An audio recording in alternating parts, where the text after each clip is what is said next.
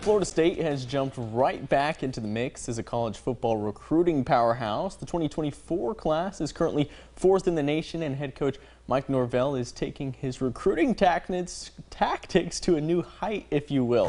Blountstown was one of many high schools in the Panhandle and Big Bend area that Norvell paid a visit to today, and it's pretty easy to make those dozen or so visits when this is your ride. The focus of his stop, 2024 four-star safety commit Jordan Pride. He's received offers from pretty much every major program in the nation. He's expecting a visit from Florida's Billy Napier next week. Norvell was even sent off with a homemade buttermilk pie courtesy of the Blountstown culinary team.